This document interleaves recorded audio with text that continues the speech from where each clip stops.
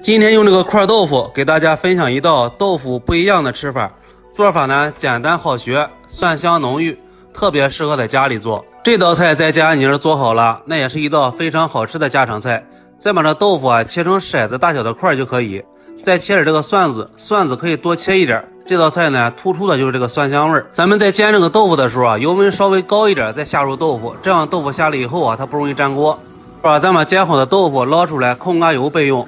锅内这点油啊不用倒，直接把这个蒜子给它煎一下，把这蒜子呢煎至有点虎皮色。这时候加入少许的蚝油，再来点酱油，来少许的水，水不要太多，漫过蒜子就行。味精、鸡精少来点白糖。把这口调好以后，把这个煎好的豆腐啊给它放里边。这个时候这豆腐啊不要着急出锅，让这个豆腐在锅里多炖一会儿，这样呢这个豆腐更容易入味儿。最后把这个配料给它放里，来少许的水淀粉勾一个薄芡，翻炒个三五六七下，出锅装盘即可。这道蒜子烧豆腐，在家您像我这么做，是不是特别的简单？喜欢的双击收藏。